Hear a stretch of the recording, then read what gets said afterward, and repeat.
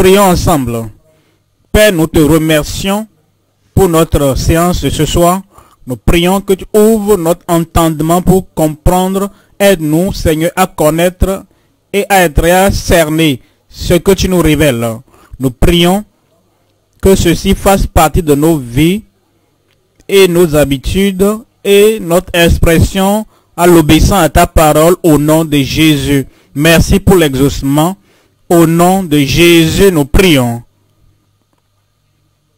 Nous sommes en Psaume 133. Le verset 1. Voici qu'il est agréable, qu'il est doux pour des frères de demeurer ensemble. L'unité. C'est comme l'huile précieuse qui répandue, Psaume 133, verset 2 maintenant, répandue sur la tête descend sur la barbe, sur la barbe d'Aaron, qui descend sur le bord de ses vêtements. C'est comme la rosée de l'Hermont qui descend sur les montagnes de Sion. Cette unité est comparée à l'onction, comparée à la rosée de l'Hermont. C'est comme la rosée de l'Hermont qui descend sur les montagnes de Sion. Car c'est là, en ce lieu, où l'onction, ou l'huile d'onction, l'huile d'unité, à ce lieu où se trouve la rosée des sangs, c'est là que l'Éternel envoie la bénédiction, la vie pour l'éternité. La vie éternelle. La vie pour l'éternité. C'est la vie éternelle. En considérant ces versets, ils semblent être des versets familiers, mais il y a beaucoup dans chacun de ces versets. Aider l'unité, la communion, de l'amour, de la vie d'ensemble parmi les frères. Elle est qualifiée par deux objectifs. Elle est agréable. Mais il y en a qui, il y a des choses qui sont agréables qui ne sont pas plaisantes. Parfois le médicament est agréable mais n'est pas doux. Il n'est pas plaisant, il n'est pas doux. Vous vous forcez à le prendre. Mais il dit, là nous parlons de l'unité et de la communion et de la vie d'ensemble et de l'unicité des frères, premièrement, elle est agréable. Non seulement qu'elle est agréable, elle est douce. Il y a des choses qui donnent du plaisir, mais qui ne sont pas bonnes. Qui ne sont pas bonnes pour notre vie spirituelle, qui ne sont pas bonnes pour notre santé, qui ne sont pas bonnes pour notre vie morale et pour notre avenir. Elle peut être agréable pour la chair, mais elles ne sont pas bonnes en en définitive, mais dit que quelque chose est agréable et qu'au même moment, elle est douce, agréable, plaisante, cette chose est isolée comme quelque chose de spécial, quelque chose d'unique, comme quelque chose que vous ne revenez, vous ne dépassez pas tout le temps. Maintenant, il nous présente cela comme c'est une surprise. Oh, qu'il est agréable, qu'il est doux pour des frères de demeurer ensemble dans l'unité. Alors il dit qu'il y a une illustration en regardant toute la nation d'Israël, en regardant tout, Israël, a quelque chose d'important, quelque chose d'essentiel, d'indispensable parmi eux, le ministère du sacerdoce et la place d'Aaron en Israël. Alors, ils devaient expier pour leurs péchés, ils devaient les représenter devant le trône de Dieu, ils devaient aussi faire des sacrifices. Parfois qui avait une plaie, il ne pouvait se passer du ministère, du service du, sacrificateur. Alors l'unité, la communion et la vie d'ensemble est comme le ministère d'Aaron. Et c'est comme l'huile précieuse qui répandue sur sa tête. Et il parle donc de l'illustration ici de l'unité. Maintenant il dit, non seulement cela, ce n'est pas quelque chose qui s'arrête sur sa tête, qui descend sur la barbe, sur son visage, sur sa barbe, sur la barbe d'Aaron. Qui couvre tout le corps, la bonté dont nous parlons, la douceur dont nous parlons, Et le caractère indispensable dont nous parlons, c'est pour tout le corps de Christ, de la tête jusqu'aux pieds. Et, et il affecte tout. Maintenant, il dit, c'est comme la rosée, c'est-à-dire la rosée qui descend du ciel et qui va rafraîchir la végétation, qui rafraîchit tout autour. Et il dit, quand il n'y a pas de rosée, c'est qu'il n'y aura pas de pluie. S'il n'y a pas de rosée, il n'y aura pas de pluie. Il y aura la sécheresse, il y aura la chaleur, il y aura donc le déconfort. Alors, l'unité, c'est comme la rosée qui vient de la montagne élevée. C'est pourquoi il parle de l'Hermon ici, qui descend sur les montagnes. C'est pourquoi il parle des montagnes de Sion. Et il dit que nous soyons relevés comme une montagne, ou que nous soyons comme des collines de Sion. C'est très important, elle est indispensable, irremplaçable cette unité dans chaque vie. L'unité, oh, comment elle donne de profit à chacun de nous. C'est ce dont il parle ici quand il dit, oh, qu'il est agréable, qu'il est important, et qu'il est essentiel, qu'il est indispensable, et qu'il est doux pour des frères de demeurer ensemble. Dans l'unité, parce que c'est là où Dieu, en réalité, envoie la bénédiction. Alors, ce soir, nous considérons le thème, le profit céleste de l'unité parmi les vrais croyants. Parmi les vrais croyants. Le profit céleste de l'unité parmi les vrais croyants. Quand vous parcourez la Bible, vous voyez, il y a des faux frères, des faux croyants. Dans la famille de David, il y a Amon, il y a Absalom. Il y a Absalom. Ce n'est pas tout le monde qui se trouve là-bas qui agit comme des frères. Il y a les vrais croyants. Et quand vous venez dans l'église, le corps de Christ, vous verrez également qu'il y a des faux frères. Il y a des, l'apôtre Paul a dit, oh, j'ai été en péril sur la mer, péril de la part des brigands, parmi mes concitoyens en péril, parmi les faux frères. Il y a les vrais frères. Alors, parmi ces vrais frères, il y a donc le profit céleste de l'unité. Le profit céleste de l'unité parmi les vrais croyants, les vrais frères. Trois points à considérer premièrement. L'unité agréable à travers l'amour durable. L'unité agréable à travers l'amour durable. Deuxième point. L'unicité précieuse de l'excellence du leadership.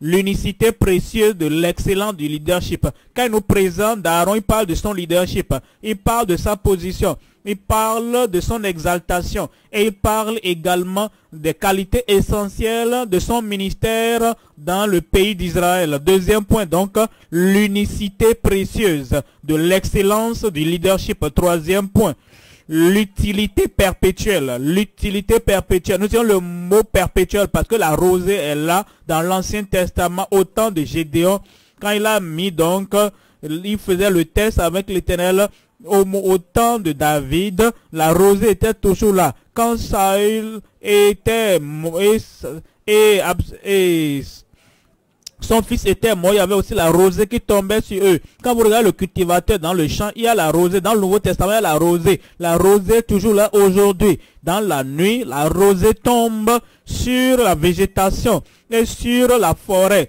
et rafraîchit tout il ôte, elle ôte la, la rosée, ôte la sécheresse et la chaleur. C'est pourquoi nous parlons que c'est perpétuel, l'utilité perpétuelle jusqu'à la vie éternelle. Parce que il envoie la bénédiction et la vie pour l'éternité. Revenons au premier point. Le premier point donc, l'unité agréable à travers l'amour durable. L'unité agréable à travers l'amour durable. Verset 1 en Somme 131. Voici qu'il est agréable et qu'il est doux pour des frères de demeurer ensemble. Nous voulons considérer donc premièrement transformer pour l'unité. Nous étions des pécheurs. Nous sommes venus à la croix. Nous sommes devenus des frères et sœurs du Seigneur Jésus-Christ. Nous sommes devenus membres de la famille de Christ.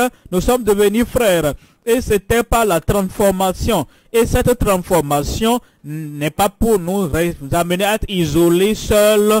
Oh, j'ai eu la grâce, je suis sauvé, je suis sanctifié, je suis rempli du Saint-Esprit, j'ai tout ce dont j'ai besoin. J'ai la Bible, elle est complète, j'ai un pasteur, j'ai une église, j'ai tout. Maintenant, dans, en l'isolation, je peux vivre tout seul. et venir à l'église tout seul et avoir tout ce dont j'ai besoin du royaume et aller au ciel. La Bible dit non. Nous sommes transformés pour l'unité. Il nous a transformés pour que nous soyons un. Voyons en Jérémie au chapitre 32. En Jérémie chapitre 32, lisons le verset 39. Transformés pour l'unité. C'est le sous-premier point du premier point. Jérémie 32, le verset 39. Dans le verset 39 de Jérémie 32, il dit, je leur donnerai un même cœur et une même voix. Je leur donnerai ceux qui sont venus à Dieu, ceux-là qui ont été transformés par la grâce et ceux-là qui sont venus dans la nouvelle alliance, je donnerai à, donnerai à tous ceux-là un même cœur. Ça, c'est l'unité. Et une même voix. Ils marcheront donc sur la même voie afin qu'ils me craignent toujours.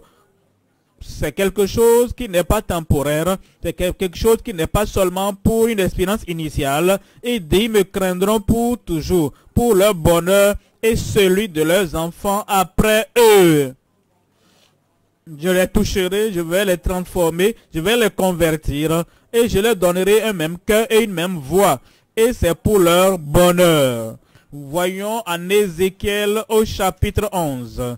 En Ézéchiel au chapitre 11, lisons le verset 19. En Ézéchiel, chapitre 11, transformé pour la cause de l'unité et transformé afin que nous soyons unis comme corps de Christ. Ézéchiel 11, 19. Je leur donnerai un même cœur et je mettrai en vous un esprit nouveau. J'ôterai de leur cœur, de leur corps, le cœur de pierre et je leur donnerai un cœur de chair afin qu'ils suivent mes ordonnances et qu'ils observent et pratiquent mes lois et ils seront mon peuple. Et ils seront mon peuple et je serai leur Dieu. Il parle donc de nous donner un même cœur. Il te donne le même type de cœur, il me donne. Et il me donne le même type de cœur, il lui donne. Et parce que nous avons le même cœur, nous avons le même esprit, nous avons une même pensée, nous avons une même doctrine, et nous avons un, même, un seul Dieu, une même direction, un même Seigneur, il nous rassemble et notre transformation apporte l'unité. Et le résultat de cela, voyons cela en Jean au chapitre 17 en Jean chapitre 17. Lisons ici le verset 17.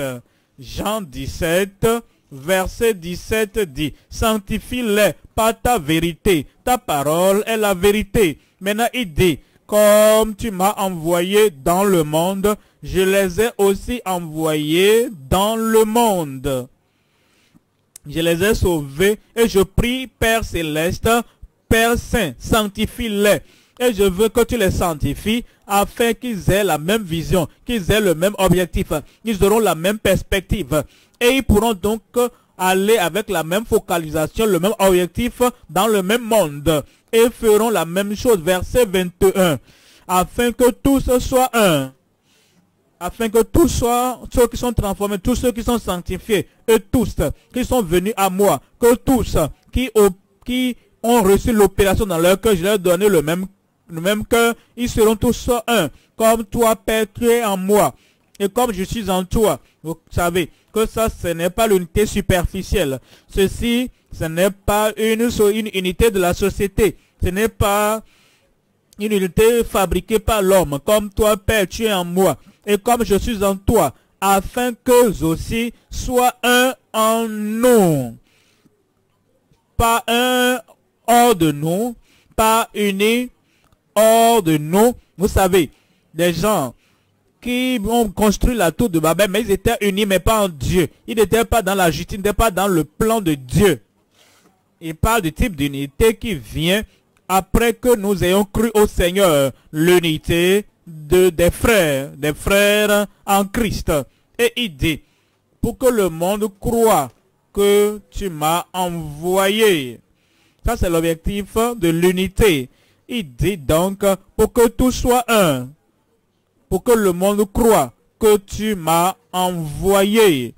Revenons donc à, à Psaume 133. En Psaume 133, verset 1 encore. Voici qu'il est agréable et qu'il est doux pour des frères de demeurer ensemble dans l'unité, de demeurer ensemble. Vous devez souligner ce mot-là, demeurer ensemble, ensemble, ensemble dans l'unité. Ça, c'est le deuxième sous-point, ensemble dans l'unité. Ce n'est pas unité, ce n'est pas un type d'unité qui est absent, qui est absente. Ce n'est, ça veut dire que toi tu restes là où tu es, moi je reste là où je suis. Parce que chaque fois que nous venons ensemble, il y a des conflits. Et chaque fois que nous retrouvons, il y a des désaccords. Et chaque fois que nous rassemblons, il y a des différences. Par conséquent, si nous voulons donc vivre et garder l'unité, il vaut mieux donc que nous restons loin les uns des autres. Quand vous êtes loin comme ça, on ne se voit pas, on ne s'offense pas, on, ne s'énerve pas. Alors c'est bon donc de rester loin les uns des autres et nous allons croire la même doctrine, nous allons croire la même Bible, et nous allons donc répondre du nom de la même église. S'ils viennent au culte combiné, je ne veux pas venir parce que je vois toujours des choses que je ne comprends pas. Et des choses pour lesquelles je ne suis pas d'accord. Il dit non, l'unité dont nous parlons, ce n'est pas une unité mentale. L'unité dont nous parlons, ce n'est pas une unité, unité mécanique. L'unité dont nous parlons, ce n'est pas l'unité à distance. C'est l'unité en lorsque nous sommes ensemble. La deuxième chose que je vois ici, c'est ensemble dans l'unité. Ça, c'est le deuxième sous-point. Dans le premier point, venons en Romains au chapitre 15. En Romains au chapitre 15, lisons le verset 5 et le verset 6. Romains au chapitre 15, les versets 5 et 6. Romains 15, 5 et 6. Que le Dieu de la persévérance, de la consolation vous donne d'avoir les mêmes sentiments les uns envers les autres. Ça, c'est l'unité. D'avoir les mêmes sentiments les uns envers les autres. J'essaie de comprendre mon frère là-bas. J'essaie de comprendre ma soeur aussi là-bas. Ils, pensent différemment, ils parlent différemment, ils agissent différemment. Mais nous devons être ensemble. Nous ne pouvons pas nous séparer. Nous ne pouvons pas vivre isolés. Qu'est-ce que je dois faire alors? Je viens sous leur... Je viens pour voir comment est-ce qu'ils réfléchissent. Je réfléchis comment? Comme eux comment il regarde les choses. Il regarde les choses de telle perspective et je, je, je fais alors un effort pour regarder selon leur perspective. Et quand je viens sous leur je viens sous leur peau, je regarde les choses selon leur perspective. Je parle leur langue. Je peux ne pas parler leur langue vernaculaire, mais le sens qu'ils donnent aux mots, j'essaie de, de les comprendre. Quand dit quand il dit ceci, c'est ce qu'il veut dire. Quand je dis la même chose, je veux dire autre chose. Nous pouvons utiliser le même vocabulaire. Je dis boîte et il dit box. Et quand je dis boîte, je dis, boxer la chose, boxer la chose. Quand elle dit boxer, elle dit prends la, prends la boîte. Et parce que nous utilisons le même mot différemment, et nous utilisons le même mot avec des sens différents, nous n'arrivons pas à nous comprendre. Ainsi donc, j'essaie de suspendre ma compréhension et je regarde sa compréhension du mot qu'elle utilise. Alors, j'utilise le même mot avec le même sens que mon voisin a. C'est ce qui apporte l'unité. Mais c'est aussi longtemps que je m'attache à ma voix et toi tu t'attaches à ta voix aussi que je, quand je dis, quand moi je dis va, ce que moi je veux dire, c'est va, sort. Alors quand lui dit va, ce que lui veut dire, c'est va visiter quelqu'un. Je dois alors comprendre ce que tu dis. Tu dois aussi comprendre ce que je dis. Ainsi donc, selon ce, ce verset 5, que Dieu de la persévérance nous doit d'avoir les mêmes sentiments les uns envers les autres. Et il continue. Selon Jésus-Christ. Voyez maintenant le verset 6, afin que tous ensemble, d'une seule bouche, d'une seule bouche et d'une seule pensée, nous devons avoir, je dois avoir ta pensée, dois avoir ma pensée. Nous devons alors avoir les sentiments de Christ. Ce n'est pas seulement que nous sommes assis ensemble, nous pouvons être assis ensemble et penser différemment. Nous pouvons vivre dans la même maison et penser différemment. Nous pouvons avoir les mêmes différentes affections, les mêmes les différentes persuasions les, les, les, désirs différents, les aspirations différentes. Mais notre unité vient lorsque nous essayons de ramener ce que nous aimons au centre, en particulier au centre de ce que Christ veut, afin que nous, afin que tous ensemble, d'une seule bouche, d'une seule même pensée, vous glorifiez le Dieu et Père de notre Seigneur Jésus-Christ. Une seule pensée et une même bouche. Voyons 1 Corinthiens chapitre 1er. En 1 Corinthiens chapitre 1, lisons le verset 10. Dans le verset 10, il dit, Je vous exhorte, frères, par le nom de notre Seigneur Jésus-Christ, à tenir tous un même langage. À tenir tous un même langage. De quoi parle-t-il? Il y, a, beaucoup de choses que nous avons à dire. Partant de la repentance jusqu'à la résurrection, à l'enlèvement, il y a beaucoup de choses aussi au milieu. Et quand je décide de parler de la repentance, lui décide de parler du réveil, lui décide de parler de la restitution, lui décide de parler de l'enlèvement, lui décide de parler peut-être du ciel, de l'enfer, l'autre décide de parler du second avènement, l'autre décide de parler du mariage, l'autre l'autre parle d'autre chose, même si nous tous, nous, disons la vérité dans ce que nous disons, mais nous disons au même moment, nous mettons l'accent sur des choses différentes. Alors, l'unité dont nous parlons ensemble dans l'unité, c'est que nous devons être ensemble dans l'unité, c'est que nous devons tous, nous devons tenir tous un même langage. Nous travaillons pour la même chose, nous planifions pour la même chose. Ça, c'est la vie d'ensemble que le Seigneur veut que nous ayons. Et quand il s'agit de notre, sujet, nous allons ensemble vers le sujet. Nous mettons l'accent sur le sujet. Nous, nous mettons l'accent sur le sujet. Nous supportons le sujet ensemble dans l'unité. Voyons ce verset dit une fois encore. Je vous exhorte, frères, par le nom, nous sommes frères. Ne doit pas avoir de désaccord, nous sommes des frères. Il ne doit pas avoir des tiraillements ou des divisions. Nous sommes des frères. Je vous ai frères, je vous en supplie frères, par le nom de notre Seigneur Jésus-Christ, à tenir tous un même, sans exception, à tenir tous un même langage. Et il ne doit pas avoir de division. Et à ne point avoir de division parmi vous. C'est vous et moi qui allons amener cela à l'accomplissement. Nous devons donc déterminer que je n'aurai pas d'intérêt divisé, je n'aurai pas d'intérêt divisé de l'Église, des frères, du peuple de Dieu. Je n'aurai rien, je n'aurai pas un point de vue divergent du peuple de Dieu, à ne point avoir de division parmi vous, mais à être parfaitement unis dans un même esprit. Ça, c'est le mot, c'est le mot, parfaitement unis dans un même esprit et dans un même sentiment. C'est ce que le Seigneur espère de nous, que nous sommes ensemble unis. Un, Nous sommes transformés pour l'unité. Deux, Nous sommes ensemble dans l'unité. Revenons à Psaume 133. Psaume 133. Voyons le verset premier. Voici, oh, qu'il est agréable, qu'il est doux pour des frères de demeurer des vrais frères, de demeurer ensemble dans l'unité. Le mot demeurer, demeurer ensemble dans l'unité. Il y a une symétrie, il y a une unité symétrique. Ils sont morts, ils sont ensevelis. Ils sont ensemble, mais ils ne parlent pas. Ils ne se lèvent pas. Ils ne bougent pas. Ils ne marchent pas. Est-ce qu'on peut dire qu'ils demeurent ensemble dans l'unité, ça, c'est une unité mortelle. Mais il parle de demeurer ensemble comme mari et femme vivant ensemble pour un objectif. C'est comme des parents et enfants vivant ensemble pour un objectif.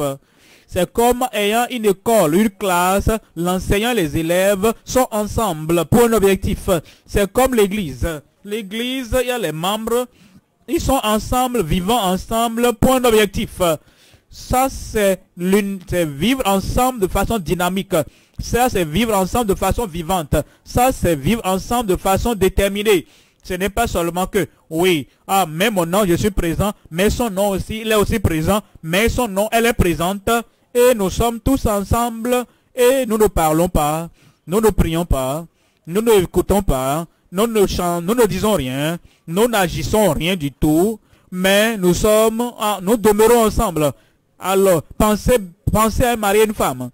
Ils se traitent l'un l'autre avec une tranquillité mortelle. La femme ne parle pas, le mari ne parle pas. Nous qui sommes au dehors de leur maison, nous pensons qu'ils demeurent ensemble dans l'unité. Ils sont, leur tranquillité montre qu'il y a quelque chose qui se reprend l'un contre l'autre. Ce n'est pas le type d'unité de demeurer ensemble que, dont parle la Bible ici. C'est demeurer ensemble pour un objectif. Demeurer ensemble. Voyons ceci en Somme 100, Somme 101. Somme 101, versets 6 et 7. Somme 101. Les versets 6 et 7. J'aurai les yeux sur les fidèles du pays pour qu'ils demeurent auprès de moi. Les, fidèles du pays sont fidèles à l'appel, fidèles à la parole de Dieu. Ils sont fidèles au devoir qu'ils exécutent. Ils sont fidèles à l'objectif de demeurer avec moi et aider pour qu'ils demeurent auprès de moi. Celui qui marche dans une voie intègre sera mon serviteur. Il demeure auprès de moi pour servir le Seigneur. Ils demeurent ensemble pour aller dans la même direction, pour marcher dans la même vocation. Ce n'est pas demeurer ensemble tranquille comme si nous étions morts et que nous faisions rien du tout. Verset 7. Celui qui se livre à la fraude n'habitera pas dans ma maison. Ils n'ont pas la même pensée avec moi et ils ne veulent pas avoir la même pensée avec la vérité. Et dit, celui qui dit des mensonges ne subsistera pas en ma présence. Alors nous demeurons ensemble afin que nous puissions marcher ensemble, que nous puissions planifier ensemble, afin de faire quelque chose ensemble, pour progresser ensemble. Somme 114. Somme 140, 13. Somme 140, 13. Somme 40, 13. 14, lui second. Oui, les justes célébreront ton nom. Les hommes droits habiteront devant ta face. Il ne parle pas des rétrogrades, de mépriser la ruse, de mépriser la vie pécheresse, ou de mépriser les mensonges, ou de mépriser les actions sataniques et les attitudes sataniques. C'est bon pour des frères de demeurer ensemble dans l'unité. Il parle de ceux qui sont justes, de ceux qui sont justes, droits. Ce sont ceux-là qui peuvent demeurer ensemble pour un objectif. Nous ne passons pas notre énergie en, à argumenter. Nous ne passons pas notre, dépensons pas notre énergie dans les conflits, dans, les conflits. Nous ne dépensons pas de temps à résoudre des problèmes qui pouvaient être évités. Nous sommes sauvés, sanctifiés, nous sommes justes, nous sommes saints. Nous sommes droits justes. Maintenant, il y a une œuvre à faire. Et ensemble, nous demeurons ensemble pour, porter le fardeau. Nous demeurons ensemble pour faire déplacer la montagne. Nous demeurons ensemble pour exécuter, faire quelque chose. Et nous sommes justes. Je prie que le Seigneur cultive cette unité au milieu de nous au nom de Jésus. Amen, amen. Juge, verset 18. Juge 18. Lisons le verset 7. Voyez ces gens-là maintenant. Quand nous parlons de demeurer ensemble, comprenez alors c'est activement demeurer ensemble. Acte 18, euh, Juge 18, verset 7. Activement demeurer ensemble. Les cinq hommes partirent et ils arrivaient à Laïs. Ils virent le peuple qui était vivant en sécurité à la manière des Sidoniens. Ils étaient vivants en sécurité. Ils étaient négligents. Et on continue en disant, à la manière des Sidoniens, tranquilles et sans inquiétude.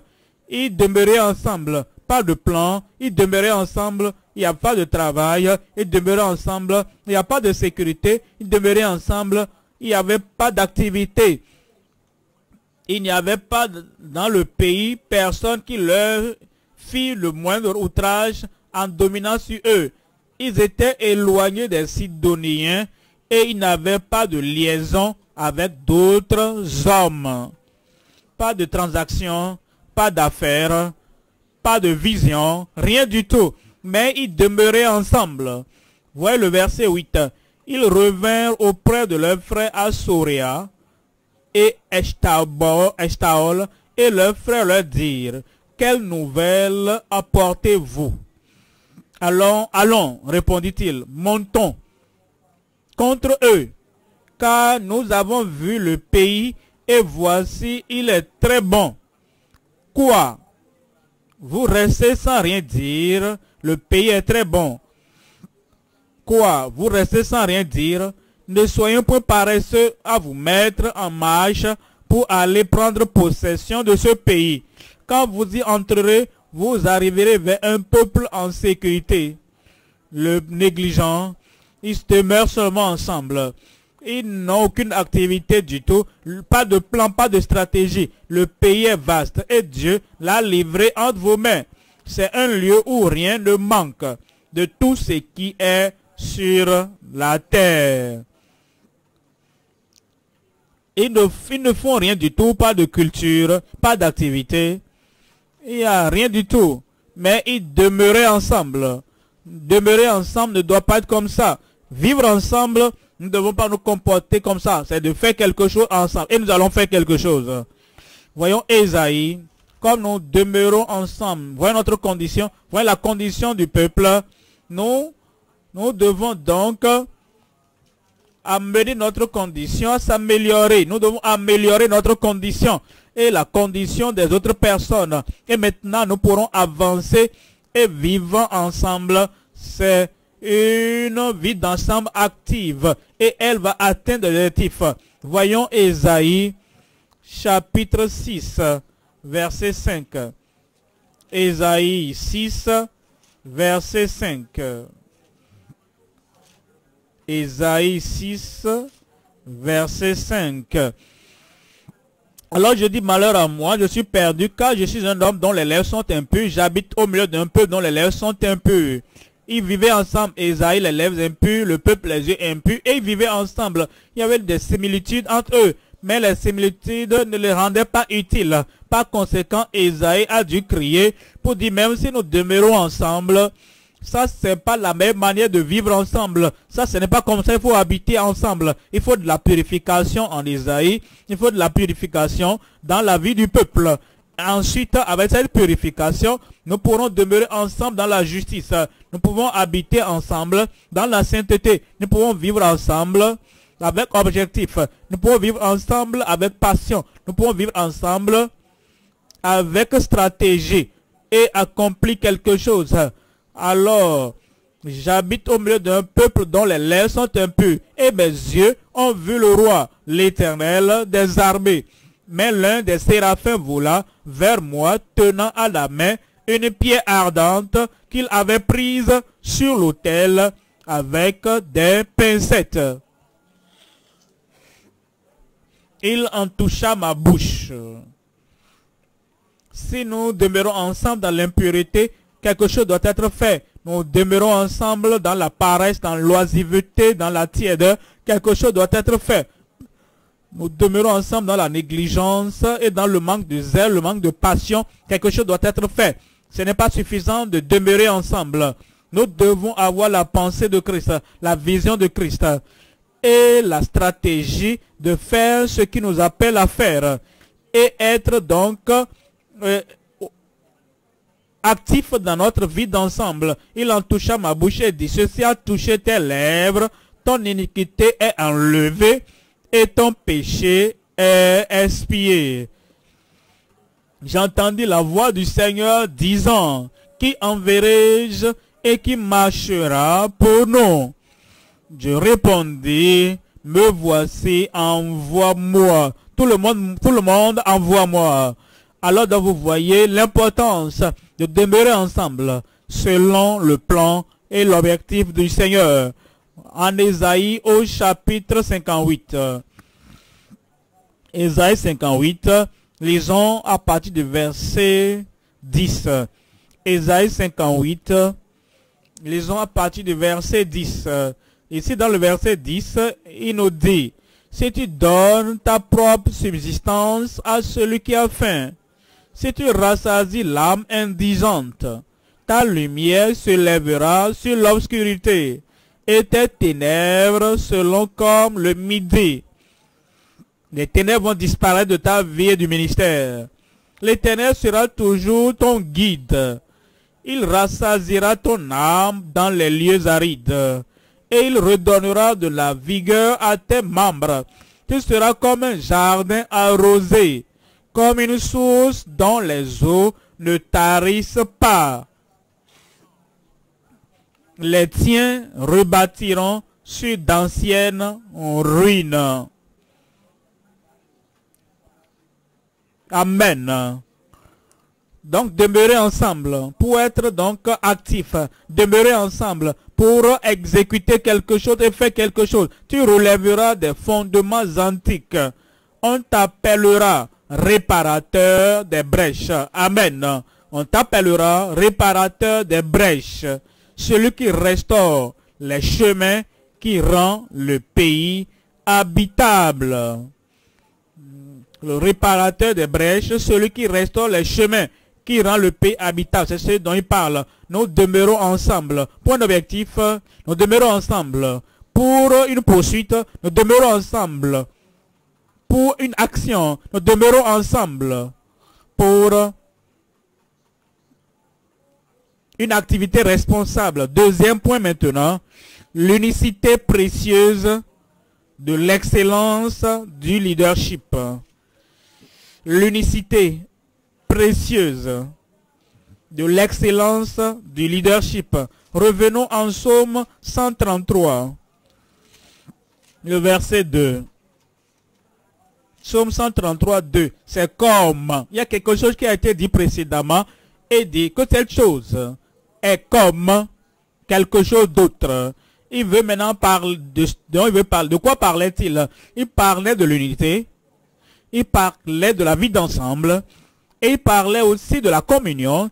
Et il dit, cette unité est comme, ou bien cette communion est comme, ou bien cet amour qui nous rassemble, qui nous réunit, dynamique et actif, est comme, maintenant à quoi est-elle ressemblable Verset 2, c'est comme l'huile précieuse qui répandue sur la tête descend sur la barbe sur la barbe d'Aaron qui descend sur le bord de ses vêtements. Premièrement, il parle d'Aaron. Deuxièmement, il parle de ses vêtements. Troisièmement, il parle de l'huile, de l'onction, qui est déversée, répandue sur lui. Maintenant, il dit que cette onction, cette huile, répandue tandis sur lui couvre tout son corps de la tête jusqu'aux vêtements et partout. Alors, je veux que vous voyez l'unicité premièrement. L'unicité de l'Aaron lui-même. L'unicité deuxièmement de, des vêtements. L'unicité de l'onction, de l'huile. Et voyez ce dont parle le Seigneur, que l'unité dont il a parlé dans le verset 1 est, est unité, unité unique est une, est une communion unique. Ce n'est pas une unité comme vous le voyez ailleurs. Ce n'est pas la communion que vous voyez partout ailleurs. Et ce n'est pas une vie d'ensemble que, vous trouvez dans un autre lieu. L'unicité. Voyons maintenant Exode au chapitre 7. Lisons le verset premier. Quand il a parlé d'Aaron, ce n'est pas seulement que vous vous, répandez l'huile sur tout le monde, c'est unique en Exode au chapitre 7, verset 1er. Exode chapitre 7, verset 1. L'Éternel dit à Moïse, voici, vois, je, fais de, je te fais Dieu pour Pharaon. Et Aaron, ton frère, sera ton prophète. Ton porte-parole. Tu recevras, il recevra les révélations du ciel. Tu donneras à Aaron et lui comme un prophète fidèle. Il ne va pas diminuer ou ajouter à rien du tout de ce que tu lui dis tu, et il le dira Pharaon, et il le dira fidèlement. il le dira sans peur. Toi, tu diras tout ce que je t'ordonnerai. Et Aaron, ton frère, parlera à Pharaon pour qu'il laisse aller les enfants d'Israël hors de son pays. Vous voyez là l'unicité d'Aaron. Et vous verrez plus tard que tout ce dont nous parlons aujourd'hui concernant Aaron est unique. l'unité que nous voulons voir, que le Seigneur veut voir dans son Église est unique. Ce n'est pas l'unité comme ce n'est pas l'unité comme dans la société, ce n'est pas l'unité comme dans, dans un parti politique, ce n'est pas l'unité comme dans, dans une domination, ce n'est pas l'unité comme dans, au milieu d'un groupe de personnes qui s'engagent dans une alliance satanique spéciale, spécifique, unique comme unité. En 1 Samuel, au chapitre 12, verset 6. Chapitre 12 de 1 Samuel, verset 6. 1 Samuel 12, verset 6. Alors Samuel dit au peuple, c'est l'Éternel qui a établi Moïse et Aaron, et qui a fait monter vos pères du pays d'Égypte. Il dit, Aaron, comme nous parlons de Moïse, mais comme nous parlons d'Aaron, c'est l'Éternel qui a établi Aaron. Ça, c'est unique. Ceci est spécial. En hébreu, au chapitre 5, lisons le verset 4. Hébreu 5, verset 4. L'unicité de l'excellence du leadership. Et Hébreu 5, 4. Nul ne s'attribue cette dignité. N'est pas quelque chose que quelqu'un peut sauter dedans parmi les enfants d'Israël. Si Pharaon peut le faire, il peut le faire, mais pas celui-ci. Ça, c'est pas quelque chose que quelqu'un va dire. Ah, je suis aussi sage que Aaron, hein. Je suis aussi intelligent que Aaron. Et je suis aussi disponible que Aaron. Je peux le faire. Non, pas ceci. Il dit, nul ne s'attribue cette dignité s'il n'est appelé de Dieu, comme le fut Aaron. Spécial et unique. Revenons maintenant en Exode au chapitre 28, voyez ce qu'il dit au sujet des provisions faites pour Aaron. En Exode chapitre 28, lisons ici à partir du verset 1er. Fais approcher de toi Aaron ton frère et ses fils, et prends-les parmi les enfants d'Israël pour les consacrer à mon, service dans le sacerdoce. Aaron puisse me servir. Ce n'est pas quelqu'un d'autre qui choisit une profession, quelqu'un qui choisit une occupation, ou bien quelqu'un qui choisit quelque chose qu'il veut faire par lui-même. Et dit que je m'établis, j'ai tel objectif, j'ai telle vision, et voici ce que je veux faire. Non, ça c'est unique. Ceci est spécial. Et ceci est donc un appel défini venant du ciel afin de les consacrer pour mon service dans le sacerdoce. Aaron et les fils d'Aaron, Nadab, Abihu, Eliasa et Itamar. Tu feras à Aaron ton frère des vêtements sacrés. Des vêtements sont uniques aussi. Comme nous lisons en Somme 133, il a répandu l'huile, l'huile, l'onction, qui a quitté la tête jusqu'à la barbe et jusqu'aux vêtements. sont des vêtements spéciaux recommandés par Dieu lui-même. Tout concernant cet homme est unique.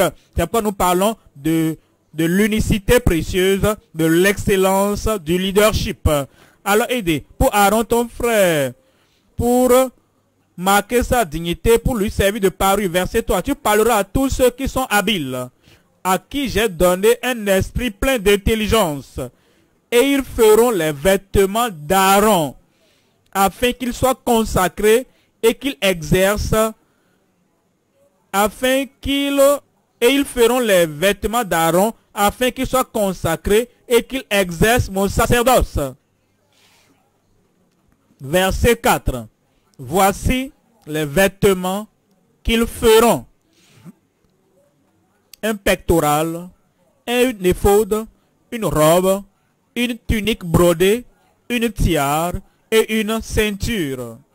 Ils feront des vêtements sacrés à Aaron ton frère et à ses fils, afin qu'ils exercent mon sacerdoce. Alors vous comprenez Ce n'est pas le choix d'Aaron. Spécial et unique. Verset 12 maintenant. Tu mettras les deux pierres sur les épaulettes de l'éphode en souvenir des fils d'Israël. Et c'est comme un, c'est comme souvenir qu'Aaron porteront portera leur nom devant l'Éternel sur ses deux épaules. Les noms des tribus des enfants d'Israël sont imprimés sur ces pierres qui mettent sur les épaules des vêtements. Maintenant, dans le verset 29, verset 29, lorsque Aaron entrera dans le sanctuaire, il portera sur son cœur les noms des fils d'Israël gravés sur le pectoral du jugement pour en conserver à toujours le souvenir devant l'Éternel. Il n'aura pas la chance de dire, je vais changer mes vêtements.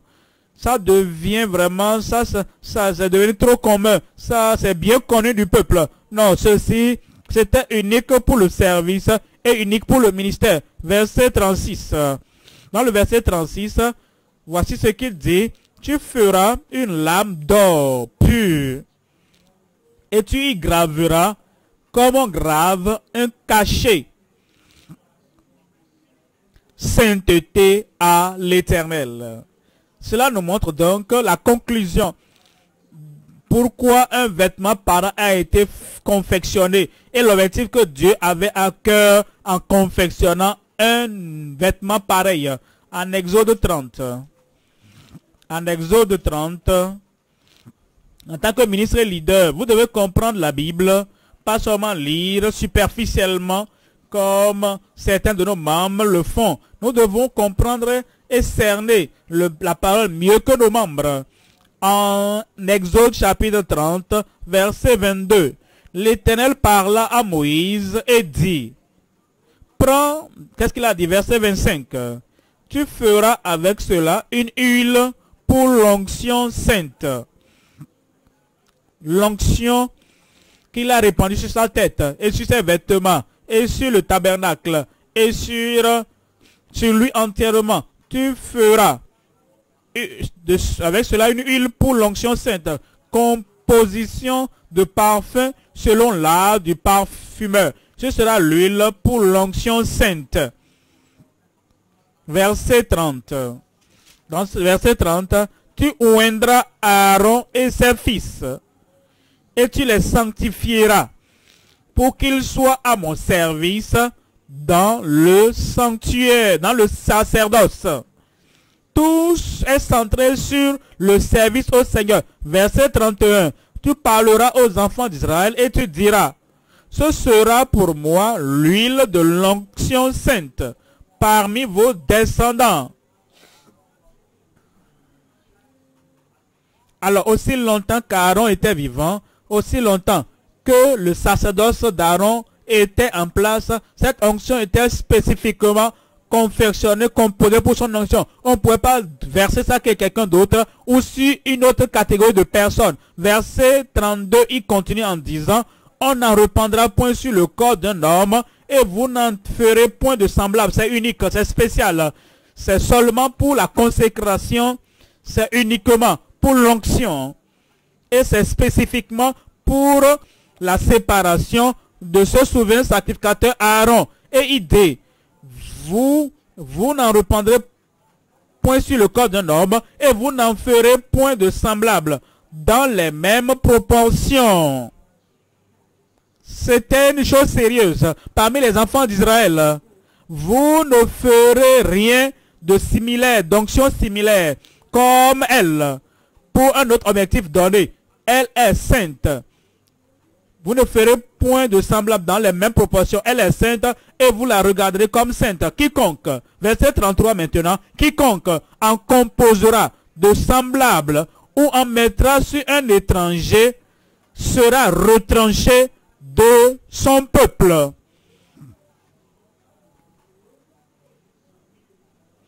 Ça, c'est l'onction dont nous parlons. Ça, c'est l'onction dont nous parlons. C'est ce que nous lisons en Somme 133, que lui là est spécial. que ceci est unique. Et il se réfère à l'unité. Et il dit, l'unité que nous avons, ce n'est pas l'unité que nous empruntons d'un de quelque part, d'un couvent ou du monde. Ce n'est pas l'unité que nous, nous, nous empruntons d'un parti politique. Ce n'est pas une unité que nous prêtons d'une dénomination. Ceci est unique et cette unité est spéciale. C'est comme l'onction qui est versée sur Aaron, répandue sur sa tête, qui coulait sur ses vêtements. C'est l'unité qui est composée au ciel. C'est une unité qui est composée du ciel, comme le Père est en moi et que je suis dans le Père, afin que ce type d'unité céleste, qu'ils aient ce type d'unité unique. C'est ce que le Seigneur dit. Et nous venons en Lévitique. En Lévitique au chapitre 10, lisons le verset 8. Lévitique au chapitre 10, lisons ici le verset 8. En Lévitique au chapitre 10, verset 8, il nous dit, parlant de Aaron et de l'onction d'Aaron et de l'huile, l'onction répandue sur lui et sur son appel, son sacerdoce très unique. Lévitique au chapitre 10, verset 8. L'Éternel parla à Aaron et dit, tu, tu ne boiras ni vin, cette onction vient sur toi, et tu es sélectionné, tu es choisi, tu es mis à part, et l'onction est unique.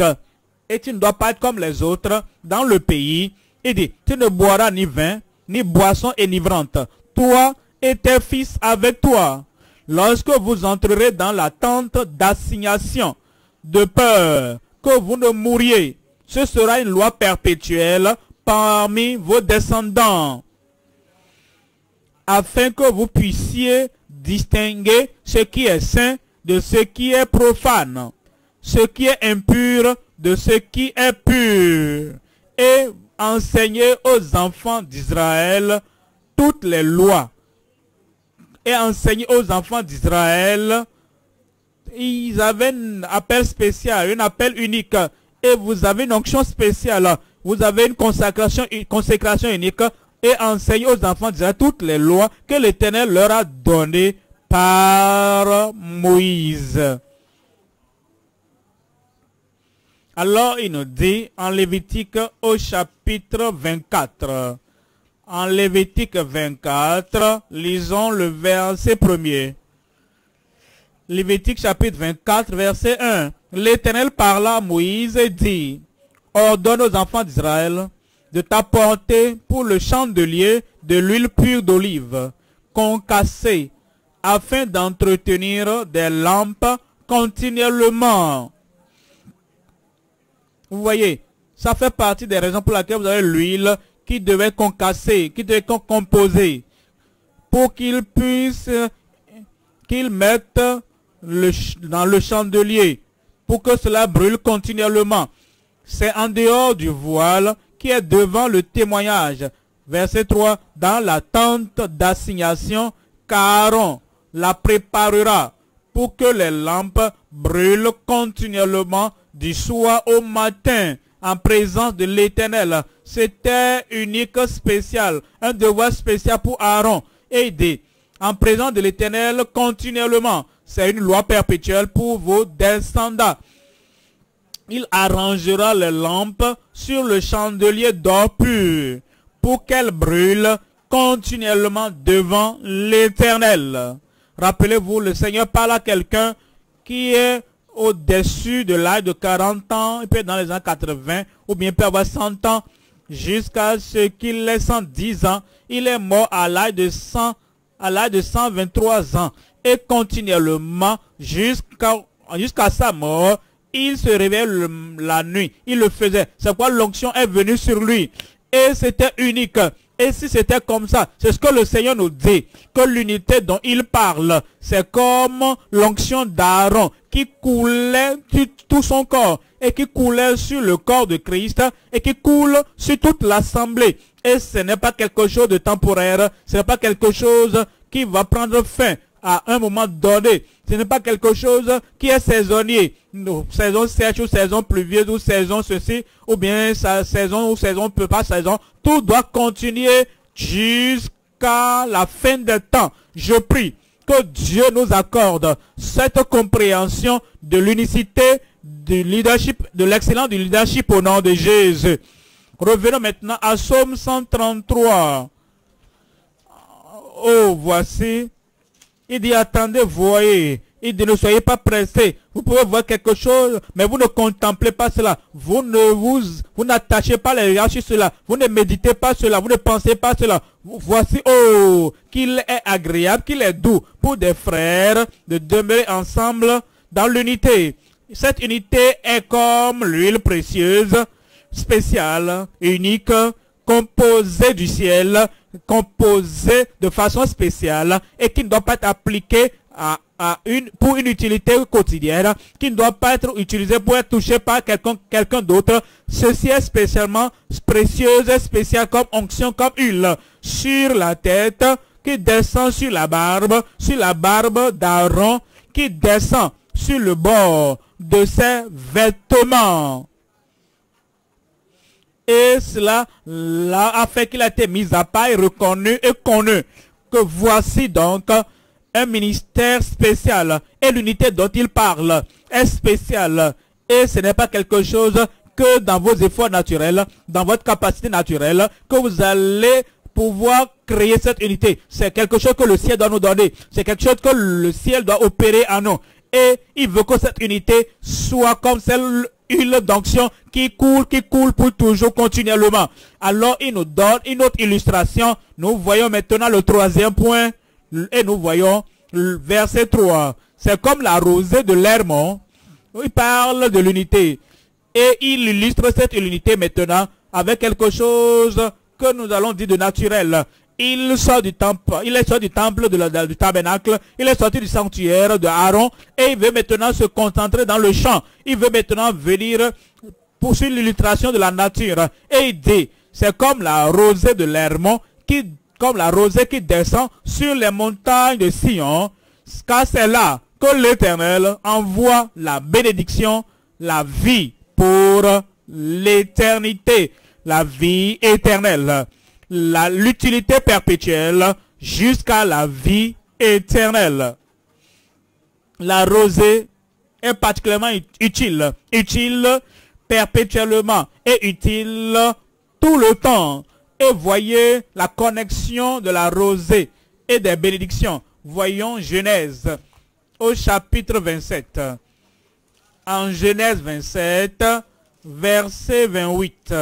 Genèse 27, verset 28. Que Dieu te donne de la rosée du ciel. Voyez cela. Dieu te donne de la rosée du ciel. Je pense que la rosée tombe pour tout le monde, non? Et Dieu n'a pas donné quelque chose cela spécialement. Ceci est unique. Et ceci est spécial.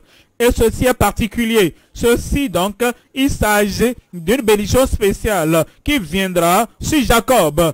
Et il compare cela à la rosée qui vient du ciel, pas de la terre. Que Dieu te donne de la rosée du ciel et de la graisse de la terre, du blé et du vin en abondance.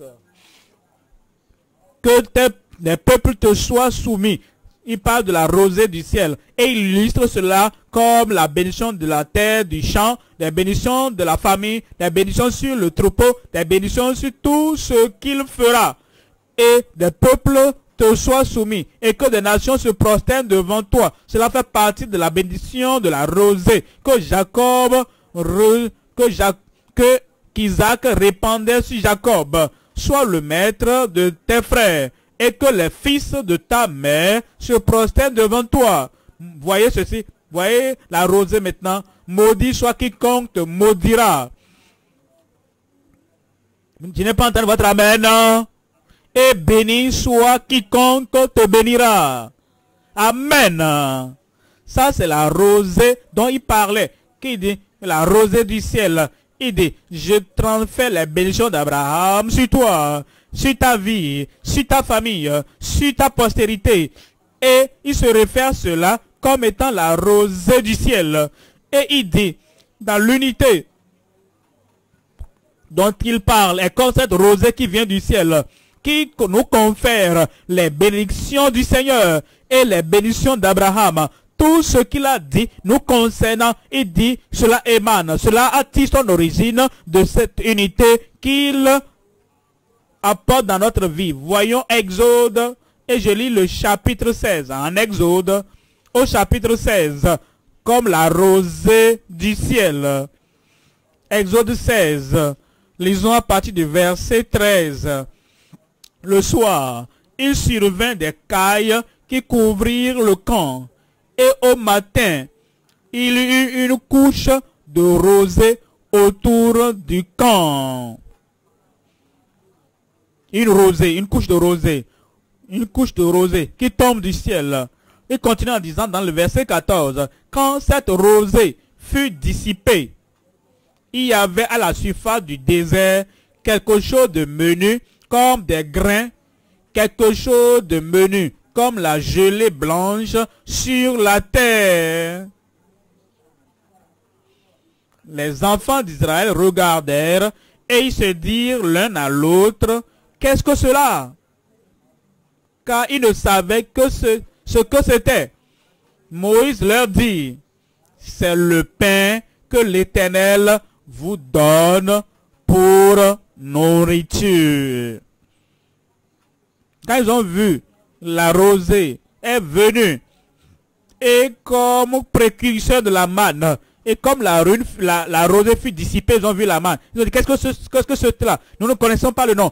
Quel nom allons lui donner cela? Et ils ont appelé cela la manne, la provision du ciel. Alors, lorsqu'il dit que cette unité est comme la rosée venant du ciel, c'est comme la bénédiction d'Abraham venant sur Jacob, c'est comme la manne qui est venue sur, pour les enfants d'Israël. Il parle de Jésus-Christ qui est le pain de vie et il nous est donné.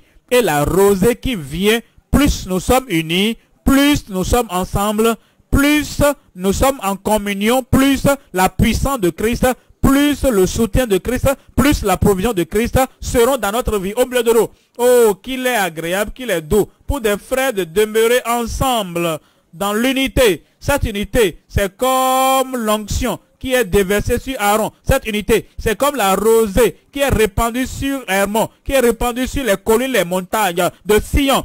C'est comme la manne qui est tombée pour eux. Et cette manne était là pendant 40 ans. Et le Seigneur les a nourris. En Deutéronome au chapitre 32, verset 2. Deutéronome 32, verset 2. Deutéronome 32, verset 2. Nous dit, ce que la rosée est venue faire pour eux. Deutéronome 32, verset 2. Que mes instructions se répandent comme la pluie. Que mes instructions se répandent comme la pluie. Que ma parole tombe comme la rosée, comme des ondées sur la verdure, comme des gouttes d'eau sur l'herbe. Donc quand il dit, arrosé par des doctrines également, la parole, l'esprit qui vient de la parole de Dieu, qui nous rafraîchit, qui nous renouvelle, qui nous donne la vie. Il dit, avant que la rosée ne vienne, tout lieu est poussiéreux. Les plantes sont en train d'être desséchées. Mais à la nuit, la rosée tombe sur ces plantes. Quand vous réveillez le matin, vous voyez tout est rafraîchi. Dit, l'unité est comme ça. Là où il y avait des désaccords, des confusions, les conflits, et nous sommes desséchés et nos prières ne sont pas exaucées, il y a beaucoup de mauvaises choses qui se passent et tout d'un coup, nous réalisons ce qui se passe et nous disons, ça doit s'arrêter. Et toute chose négative doit s'arrêter dans nos familles, dans notre église. Donnez-moi un grand Amen. Alors disons que nous comprenons maintenant, nous balayons tous nos conflits, toutes nos différences et nous sommes maintenant unis et même les gens du monde qui remarquent pour dire, ah, regardez ces gens-là, oh, qu'il est doux, qu'il est agréable pour eux de demeurer ensemble dans l'unité. Et la rosée de bénédiction va commencer à tomber sur nous. Et maintenant, il y aura le rafraîchissement. Tu seras rafraîchi. Toutes les sécheresses, la tièdeur, la fatigue, je ne peux pas, je ne peux pas. Tout d'un coup, nous ne comprenons pas ce qui s'est passé. Tout disparaît. Oh, nous revenons à la vie. Nous reprenons vie Parce qu'il y a maintenant un rafraîchissement, il y a maintenant un réveil, il y a maintenant une nouvelle vie, il y a la régénération, il y a le renouvellement. Et la puissance de Dieu vient sur nous d'une manière sans précédent. Et ça va arriver à part de ce soir au nom de Jésus. En Deutéronome chapitre 33, lisons le verset 13. Deutéronome 33, verset 13, 33, 13. Si Joseph dit, son pays recevra de l'Éternel en signe de bénédiction. Le meilleur don du ciel, la rosée, les meilleures eaux qui sont en bas.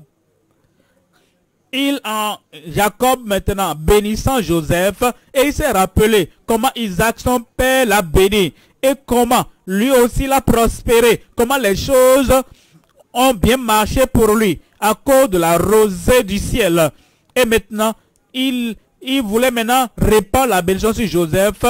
Il dit, si Joseph, il dit, son pays recevra de l'éternel en signe de bénédiction le meilleur don du ciel, la rosée, les meilleures eaux qui sont en bas, les meilleurs fruits du soleil, les meilleurs fruits de chaque mois, les meilleurs produits des antiques montagnes, les meilleurs produits des collines éternelles, les meilleurs produits de la terre et de ce qu'elle renferme. Les meilleurs produits, les meilleurs produits du Seigneur viennent sur ta vie au nom de Jésus. Voyons le verset 28. Verset 28. Israël est en sécurité dans sa demeure. La source de Jacob je parle de toi, tu vas être en sécurité dans ta demeure. La source de Jacob est à part dans un pays de blé et de mou. Et son ciel distille la rosée. Ton ciel va distiller la rosée. Que tu es heureux, Israël, qui est comme toi, un peuple sauvé par l'Éternel le bouclier de ton secours et l'épée de ta gloire. Tes ennemis feront défaut devant toi et tu fouleras les lieux élevés. Et tu fouleras leurs lieux élevés. La rosée du ciel sera sur chaque vie, sur chaque famille, et la sécheresse va disparaître. La fatigue va disparaître. La malédiction des ennemis va disparaître. En Esaïe au chapitre 55, lisons le verset 10. Esaïe 55, verset 10. Esaïe 55, 10.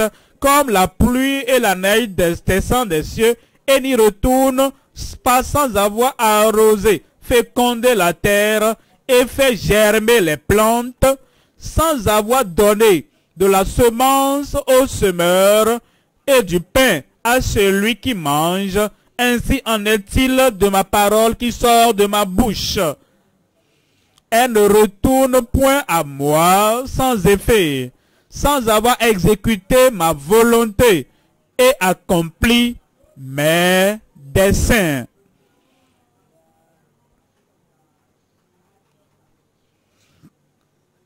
comme la, rose, pluie qui descend, comme la rosée qui descend, le Seigneur apportera des abeilles de bénédiction sur ta vie. Osée 14, verset 5. Osée, chapitre 14, verset 5. Osée 14, 5. Je serai, c'est Dieu Tout-Puissant qui parle. Il va au-delà des bénédictions sur nous. Il va au-delà de la manne, de la provision pour le peuple, il va au-delà. Même des bénédictions d'Abraham, il dit, je serai comme, je serai comme la rosée pour Israël. Il fleurira comme le lit et il poussera des racines comme le Liban. Ses rameaux s'étendront. Il aura la magnificence de l'olivier et les parfums du Liban. Ils reviendront s'asseoir à son ombre. Ils redonneront la vie aux froment et ils fleuriront comme la vigne. Ils auront la renommée du vin du Liban. Ephraim, qu'ai-je à faire? Et toi tu diras, qu'ai-je à faire encore avec les idoles? Je l'exaucerai, je le regarderai. Je serai pour lui comme un cyprès verdoyant. C'est de moi que tu recevras ton fruit. Dieu, ton fruit viendra de Dieu. Comme la rosée, tu seras fructueux. Qui est sage? Que celui qui est sage prenne garde à ces choses. Que celui qui est intelligent les comprenne. Car les voies de l'Éternel sont droites. Les justes y marcheront. Mais les rebelles y tomberont. Tu ne seras pas un rebelle. Les bénédictions du Seigneur vont demeurer sur ta vie sur ta famille. Comme la rosée du ciel, elle va demeurer sur l'œuvre de tes mains au nom de Jésus. Maintenant, en Ésaïe, chapitre 58. Ésaïe 58, verset 10. Si tu donnes ta propre subsistance à celui qui a faim, si tu rassasies l'âme indigente, ta lumière se lèvera sur l'obscurité et tes ténèbres seront comme le midi. Un, amen là-bas. L'éternel sera toujours ton guide. Il rassisera ton âme dans les lieux arides et il redonnera de la vigueur à tes membres. Tu seras comme un jardin arrosé, comme une source dont les eaux ne tarissent pas les tiens rebâtiront sur d'anciennes ruines. Tu relèveras des fondements antiques. On t'appellera réparateur des brèches. Celui qui restaure les chemins, qui, rend le pays habitable. La restauration dans ta vie, la réparation dans ta vie, renouvellement dans ta vie, rafraîchissement dans ta vie. Et cela vient, comme nous sommes unis, tu verras partir d'aujourd'hui de plus grandes bénédictions, de plus riches bénédictions, des bénédictions inédites, même des bénédictions inattendues, surtout autour de toi, spirituellement, physiquement, dans ta famille, partout, au nom de Jésus. Tu seras une merveille pour tout le monde. Oh, voici qu'il est bon. Oh, qu'il est agréable, qu'il est doux. Pour des frères de demeurer ensemble dans l'unité. C'est comme l'huile précieuse qui répandue sur la tête descend sur la barbe, sur la barbe d'Aaron, qui descend sur le bord de ses vêtements. C'est comme la rosée de l'Hermon qui descend sur les montagnes de Sion car c'est là que l'Éternel envoie la bénédiction, la vie pour l'éternité. Les bénédictions sont envoyées sur toi. J'ai dit les bénédictions sont envoyées sur toi. Les bénédictions célestes sont envoyées sur toi. Et à partir de ce soir, tu vas expérimenter tout, tout l'exaucement à tes prières du passé au nom de Jésus. Lève-toi maintenant et reçois avant de partir. Lève-toi et dis au Seigneur, les bénédictions du Seigneur sont envoyées sur moi.